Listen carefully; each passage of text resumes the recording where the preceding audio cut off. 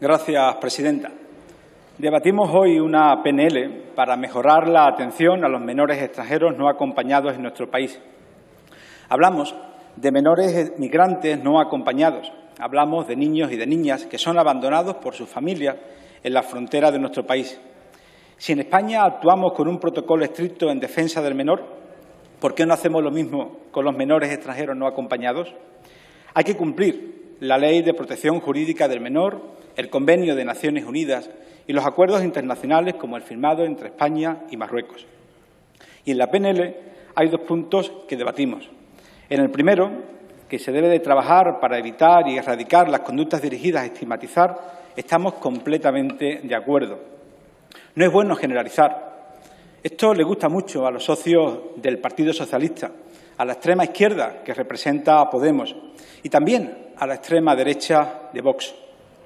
Señorías del Grupo Parlamentario de Vox, todos ustedes hacen un uso fraudulento de las subvenciones públicas, como supuestamente ha hecho quien fue vuestro candidato en Andalucía, el señor Serrano, por un importe superior a los dos millones de euros.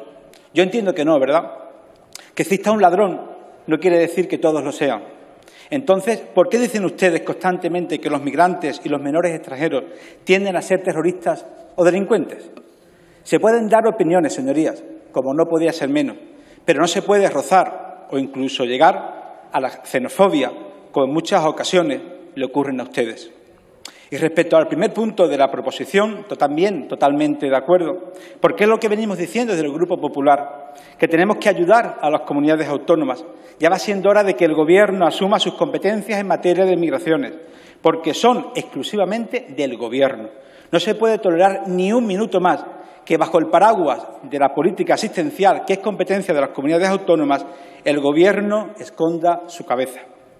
Está bien las buenas palabras, señorías del Grupo Socialista, pero aquí no venimos a pasar el tiempo. Aquí venimos a ofrecer soluciones reales a los problemas que tiene este país y en el asunto en el que debatimos echamos en falta cuestiones concretas como el de poner de nuevo las ayudas a las comunidades autónomas que el Gobierno socialista y de Podemos habéis eliminado. Sí, las habéis eliminado en Andalucía le habéis quitado 26 millones de euros para atender a los menores extranjeros.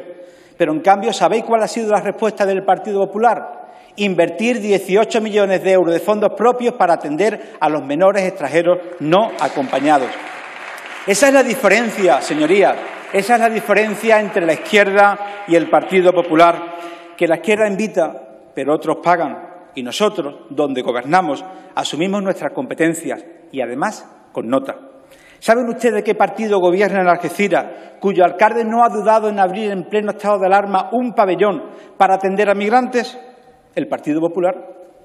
¿Saben ustedes qué partido ha gobernado Melilla cuando se realizó un esfuerzo titánico para escolarizar a todos los menores extranjeros no acompañados y además firmar convenios para el fomento de la formación, de la formación profesional cuando cumpla los 16 años?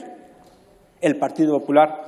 ¿Y saben ustedes qué partido gobierna en Ceuta, ciudad autónoma, donde hay nada más y nada menos que tres centros para atender a los menores extranjeros no acompañados? El Partido Popular. El Partido Popular, señoría, es el partido centrado en las personas, en las soluciones y en el cumplimiento de la ley. Y por eso, señorías del Grupo Socialista, os invitamos a que reflexionéis también sobre vuestra política migratoria para evitar, por ejemplo, lo que está sucediendo en Canarias, y con mucha humildad también os pedimos que reflexionéis sobre vuestros socios de gobierno. Compartid mesa y mantel con el PNV, un partido, el PNV, que dice que no hay que distinguir entre la migración regular y la irregular y que hay que ser tolerantes. El mismo partido que dicen que los vascos tienen supremacía sobre los demás por el RH negativo. Consideráis también, señores del Partido Socialista, socios preferentes a Esquerra Republicana, que dice papeles para todo, pero a la vez reivindica que haya frontera entre Cataluña y España o dice tonterías de gran calado como que la distancia genética es más grande de norte a sur, marcando diferencias genéticas entre españoles y catalanes.